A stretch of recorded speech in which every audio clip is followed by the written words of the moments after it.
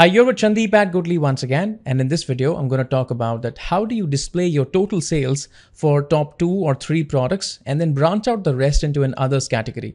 Now, before we begin, I'd like to give a big shout out to Marco Russo and Alberto Ferrari for writing a blog post on that. I'll be using the same technique, and along the way in this particular video, I'll explain every small nitty gritty and how the formula actually builds up. Let's start. All right, I'm in Power BI and that's where I have already created a visual which displays you what the final output is going to look like. So take a look. We have top four products displayed, which actually contribute to 65.2% of the sales and the rest 35% has gone to the others category where all the other products are there. Now I have the ability to pick up how many products do I want to see. I want to take a look at only one product and branch out the others into the others category, top two products, top three products, top four products, whatever that might be. And the visual actually changes and all of the other products go into the others category. Now this particular Visual can also be sliced by any particular other column of the tables like the calendar table or the products table or any other table that you have. So for instance, I'm now taking a look at the data for 2001. I could also have taken a look at the data for 2002, 3, 4 or whatever year that might be. Now we'll see that how do we actually build this particular type of visual. To be able to build this visual, we need a few things, right? And we'll go explore those things step by step and eventually we'll pack all of those things together to be able to form this visual. Take a look. The first thing that we would need is that we would need the ability to put others as a category on the horizontal axis of the chart. We'll see that how can we do that. The other thing that we would need is that after we have put the others and all the other products on the horizontal axis of the chart, we then need a calculation that actually performs the calculation for only those products which are selected by the slicer and takes all the other products and clubs them into the others category. That is going to be a calculation that we will do, which is actually displaying the numbers. The third thing that we will need is the uh, arrangement of these bars. So there's a ranking criteria and by which these bars are arranged. So the first, the second, the third, the fourth, and then eventually this is the last one. We would need that ranking criteria. You can also see that others always is colored as gray and the first four bars are colored as orange. So we would need some sort of conditional formatting to be able to do that. There is also a dynamic title that changes and we would also need the selector that I can actually help us select how many products do we want to see in the visual. So let's just go tackle all of these steps that I have just described one by one and see how can we actually create this particular type of visual. All right, let's just try to solve the first problem. The first problem is that I'd like to be able to create a horizontal axis in such a way that it shows me the names of the products, but it also shows me something like others alongside the name of the products. Now, I would be able to do that only if I have a column of a table that displays all the names of the products, but alongside all the names of the products, it also has a mention of the word others. Let's just go take a look at our products table. If I just go take a look at the products table in the products column and just open up the filter, I would have the names of all the products. But if I go search for something like others, I would not have it in the product master. So what I have done is to be able to solve this problem, I have created a pseudo products table, which is right here. In the pseudo products table, all that I'm trying to do is, first of all, I'm trying to find the unique names of the products, and that's what the first part of the formula is doing. Distinct of the products table, products table and the products name column. That's the first part.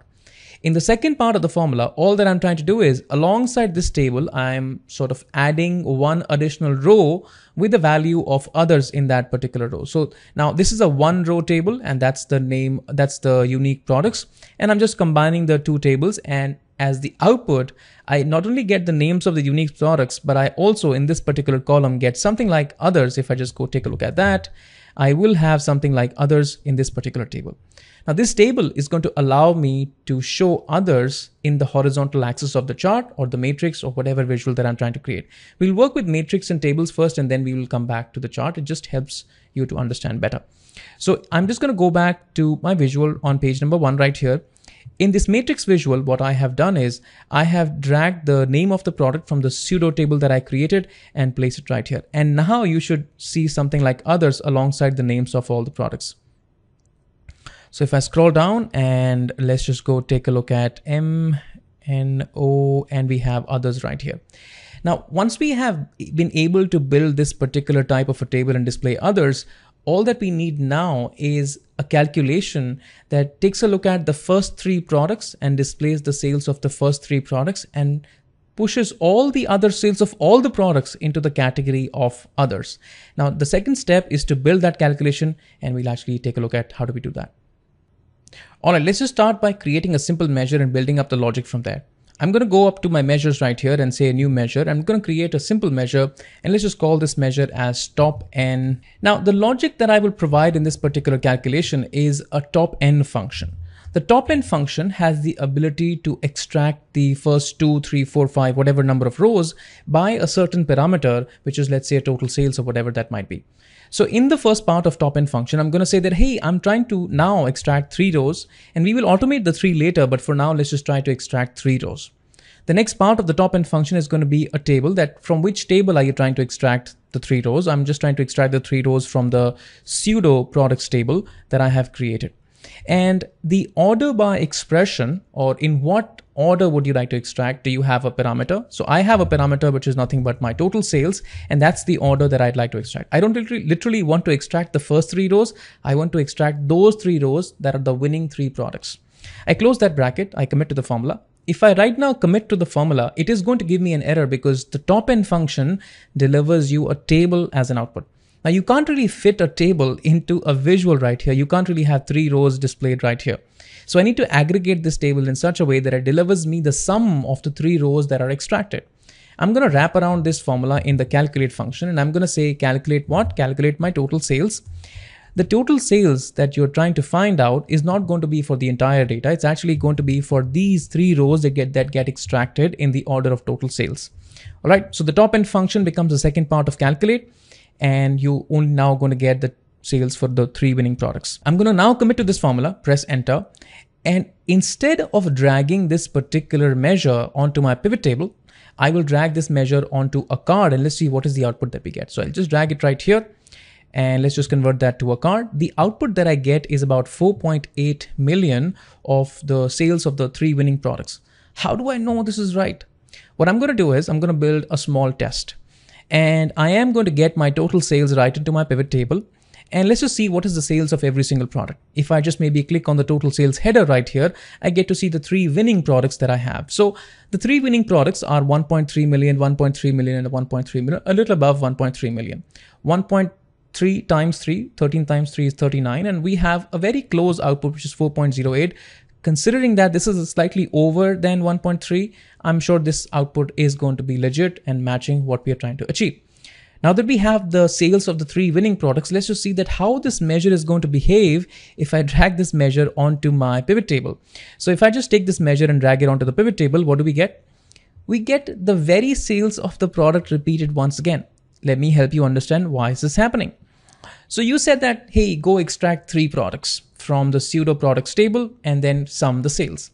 Now, once this filter is applied, onto the pseudo products table, you just have one product left. And one product will always be amongst the three products that you're trying to extract. And hence, you get to see the sales of the very product. Instead, what I want is that, hey, uh, please do not apply this filter and consider all the products that you have and then show me the sales of the top three products. So to do that, what I can actually do is I can wrap around the pseudo products table in the all selected function. And I'm just going to ask my uh, measure to consider all these products that you're able to see on the screen and consider all of these products and then show me the total sales for that. Let's just see what is the output. So if I commit to this formula and if I press enter, what I'm going to get is the same output, which is 4.08 displayed right here.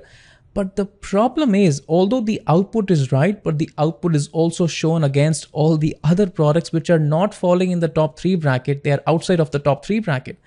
Now, how do I actually solve this product? Now, technically, if you think about it, the problem is I want to consider all of these products for calculating top three but I also want to show the sales of top three against only the three products that are actually having the top three sales. Now, what I can actually do is once the filter of all selected has been applied, I can also pass in an additional filter of the products which are outside of the top three. So any of the product which is not rank one, rank two, and rank three is outside of the top three. And I'm going to let this filter, which is mountain 200 silver, pass in and filter through the all selected table and it will not have any products because they are not the top three products. How do I apply these, these filters? I'm actually going to use the keep filters function I'm just going to go here and surround my uh, top n function in the keep filters function. And I'm going to say that, hey, keep this filter and then find the top three products. And if it is in the top three, just show me the sales of top three. If I commit to this formula, press enter, I am actually going to see the sales of the top three products only and rest everywhere I would not see any other sales. Because this was not the winning three product, it actually was left out in the all selected table because the all selected table was only considering three winning products. All right, let's proceed.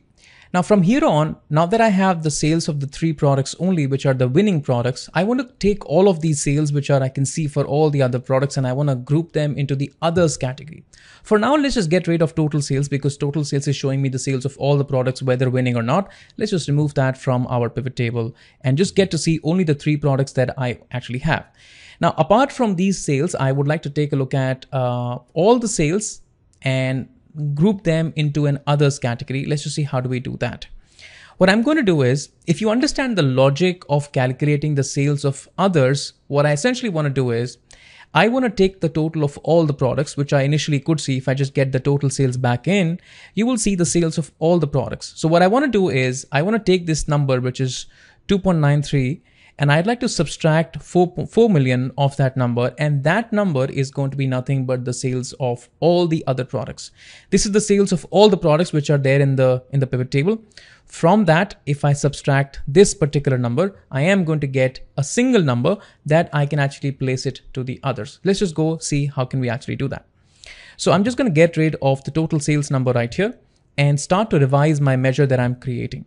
So in this measure, what I'm going to do is I'm actually going to create a variable. So I'm just going to say variable. And first of all, I'll create a table and I'm just going to call this as top products table. And this table is going to deliver me three rows, which are of the winning products, right? So we have already created that table and I'm just going to take this table and place it inside of this particular variable. Now, what I'm going to do is I'm just going to create another variable and I'm just going to say top product sales and I am going to say that, hey, do the calculate function, uh, do the calculate function on uh, the winning three products, but also apply a keep filters on, on top of that. This is something that we did it using the formula earlier, but as of now, I'm just looping it inside of the variable, all right? It's actually going to give me the same result because I have now just broken down the same thing into two different variables as of now. So if I just maybe do the return here, and if I just say, hey, just give me the top product sales, I'm actually going to get the same result. It just makes it easier to understand what's actually happening in the formula. All right, let's just go build this formula further. All right, what I need is I need to calculate the sales of other products. So the first thing that I'm going to do is I'm going to say uh, var and I'm going to say uh, other sales. And if you think about it, the other sales is going to be sales of all the products that one could see in the pivot table minus the sales of the top products, right? Without the keep filters applied. Because if the keep filters are applied, you get to see the sales of individual products, but I don't really want to have individual products. I want to have all the products. So what I'm going to do is I'm actually going to write a calculate function. And I'm going to say that, hey, I'm trying to calculate total sales for all the visible products in my pivot table. So I'm just going to say all selected and of the pseudo products table uh, close that bracket, close that bracket. Now what this is going to give me is that uh, 29 number, 29 million, I believe, of the sales of the entire products. That's what this is actually going to give me. And from this 29 million, if I actually subtract the calculate of total sales of this particular top product table, without the keep filters applied, I've actually solved the problem. So if I just maybe delete that, let's just try to return the other sales. So if I just click on other sales as of now and commit to the formula and let's just see what do we get as an output. Let's just see what do we get as an output. I think I made a mistake somewhere. This should actually be top product table. All right, I think that's correct. All right, now let's just go take a look at the result and we are now able to see the 29 minus 4 million is about uh, 25 million and that's what is the number that I'm able to see. So far so good. Now this 25 million is appearing against all the products here.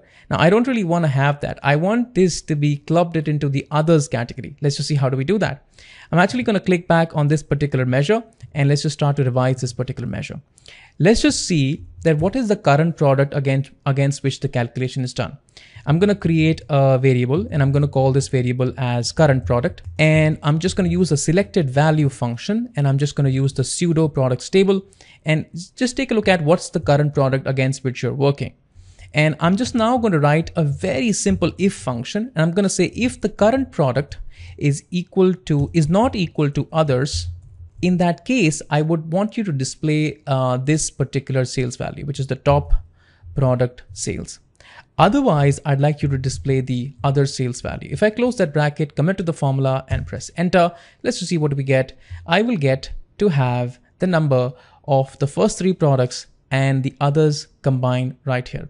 So now what we have done is we have been able to display, at least in the matrix visual, the top three products and all the other products are combined into the others category. Now, as of now, our formula is manual, meaning if I just go back to the formula and if I just go tweak the number and say that, hey, I'd like to take a look at four products. And if I commit to the formula and press enter, now I will get four products. And this part of the four is manual. I would want this to be automated in the control of the user. So the user can actually pick up two products, three products, four products. Let's just see how do we actually do that as next. All right, I've already done some legwork and I've already created a slicer on my screen, which is where I have one, two, three, four, five, and I can actually pick up any particular value. And as of now, nothing is going to happen to my pivot table. If I just say that I'd like to take a look at top two products, I don't see top two products. I don't see top three products or top four products because this slicer is as of now not connected. First of all, I want to display that how do I build this slicer? Because I want to build a slicer, I need to create a table in that table, I will have a list of five values, which is one, two, three, four, and five, and then only I'll be able to build the slicer. If I actually go over to the data tab, here I have created a top n selection table, ridiculously simple. All that I have done is mentioned one, two, three, four, five, and I have just got the five values right here. Once I have got this value column, this value column is then dragged into the slicer and I have just placed the slicer on the screen and this is nothing but the value column of the table. Now, as of now, nothing is happening once the user actually picks up any particular value. The slicer value, what the user actually selects needs to be connected to the formula that I made. That means that if I actually open up my measure, this three, which is the user, which is what the user has selected as of now in the slicer, needs to kind of come and affect this particular 4 selected and change this to a 3. Let's just create a variable and I'm just going to call this as top n selected and I'm going to call this as selected value and from the value column of this particular table. And instead of writing 4 manually, I'm just going to replace that with the top n selected, uh, the variable that I have just declared here. What this measure is actually doing is that it's actually taking a look at what the user has selected in the slicer capturing that value and placing this right here in this particular table. So far so good. If I commit to the formula, press enter, let's just go take a look at the output of that on the visual. So uh, I can now take a look at three products. I can now take a look at two products or one product or even five products. This is working absolutely fine. All right, as of now, we've been working with this matrix visual. We have not really converted that into a chart to see how it looks like, like the chart that I showed you at the start of the video. What I can actually do is I can actually click on this particular uh, matrix visual. You don't have to worry about the totals here because the totals are not going to show up in the chart. So you can read, we can actually leave it aside. If I actually click on the matrix visual, I can actually click on uh, the clustered column chart and actually forms like a chart. This is cool. Now, if I actually click on one value or two value or three values, it actually shows me the correct number of values and all of the other values go into the others category. This is cool. The problem with this chart is that as of now, it is not sorted as the first part. That means I'd like to take a look at the first winning product, the second winning product, the third winning product, and then I'd like to take a look at all the others. That's one. The title is more dynamic that we saw it at the start of this particular video, which is my title. And I certainly would like to have that particular title and see what is the contribution of top three or four products over the overall sales. That's number two. And the, th the third part is definitely the coloring. So I want others to be in gray and all of these products in to be in some other fancy color. So how do we do all of these things? Let's just take a look at the chart that I've already created and you should understand. So take a look at the display chart that I have it here. And let's just go over all of these three elements one by one. Let's just take a look at first the ranking that how do I actually rank these into the correct order. I've created a measure called a rank measure. And if you take a look at this rank measure, this rank measure is doing nothing but ranking these products in the order. So this is the first product, this is the second product, the third product, the fourth product, and others. Now, if you take a look at the visual here, others should definitely get the first rank because the value of others is the highest. Now, that will not happen because if you take a look at my rank measure, in the rank measure, all that I'm doing is finding out the total sales for something like others category but we don't have others physically present in the products table. So others is always going to be left out and we have artificially created others. Even when I was doing the calculation and I was placing all the values in the others category, I created that logic of if to be able to place all the other calculations in the others segment. So when I'm trying to calculate sales for all the products, others will always show up as blank and because it shows up as blank uh, it is always going to get the last rank so all that i'm trying to do is that i am trying to build a ranking criteria and i'm trying to say hey uh, find the top three or four, five, whatever the user has selected through the selected value option right here. In the all the products that are visible to you on the screen, which are these three or four products, and find total sales for that. Now this is actually going to give you a table and the rank X first part is nothing but the table. So in this particular table, I'd like to rank it by the criteria of total sales, descending and dense. If I close the bracket and if I commit to the formula, this formula, I just have to drag it into the tooltips of the particular visual as the rank visual. And once I drag into the tooltips of this particular visual, what I can do is come on the ellipsis and sort this by the ascending order of the rank here. And that actually allows the sorting as per the tooltip. Now, if I actually click on the particular visual, I can see the rank number five, rank number four, rank number three, rank number two, and rank number one. Absolutely good. The other thing that I want to do is build a dynamic title, uh, which is this particular title. Now, if you take a look at this particular title, there are two dynamic parts of the title. One is the number four, which is displayed as per what you have selected in the slicer. And the second dynamic part of the title is the percentage contribution of the four products. Now think about it. How would you calculate percentage contribution? It's going to be the sum of all of these four products divided by the sum of all the products displayed in the entire data set, right? So what I'm going to do is if I just take a look at the measure that I have created for the title, which is nothing but the title measure. And what I've done is, first of all, I have calculated, hey, what is my total sales of the top three or four products? Right? That's the top n pattern that you have been seeing until now. And then I say that, hey, why don't you divide this top n by total sales without any filters. Now remember that this is not going to have any particular filters because this is going to be a title. I'm not dragging this into a pivot table against a filter context. This is just going to be the title. So if I just divide my top products by the total sales of without any filters, I am actually going to get a percentage. And then I just kind of do this fancy concatenation of top, um, number four, products made and whatever is the percentage sales value. And I kind of display that nicely in my title and that actually forms the title. Last part is the color. How do I display the product name into a, an orange color and the others into a gray color? So if I actually click on this uh, particular chart here, I have used something like a conditional formatting on top of the bars and the formula for conditional formatting is something like this. Take a look at the color formatting here. I am saying is that, hey, why don't you take a look at what product are you working on? Are you working on this product? Are you working on this product? What product are you working on? If the name of the product is others, then I have a hex code for gray. If the name of the product is not others, then this particular hex code, which is the color for orange. And that's all about it. I kind of place that in the conditional formatting of the bar and it absolutely works just fine. And now I can just slice and dice this by any other calculation, any other year or any other measure, and this works absolutely fine. Alright, that was all about classifying your total sales for the top products and categorizing all the others as others category. Now I do understand the part where we discussed the keep filters and the all selected could have been a slightly tricky part of the formula, but I'm going to leave links to watch these uh, individual functions on its own and hopefully it will start to make uh, more sense. The keep filters function, the all selected function and things like that. Now a quick shout out about my DAX and my Power Query course in case you're starting out with Power BI and you'd like to learn DAX and Power Query in a more structured way and learn the fundamentals first and then proceed on to solving more challenging, more sophisticated problems of your own data, I will highly recommend that you take a look at my courses. It's going to be highly beneficial. If you have any questions, please feel free to drop in a comment and I'll be glad to reply. Thanks so much for watching this and I'll catch you guys in the next one. Cheers. Bye.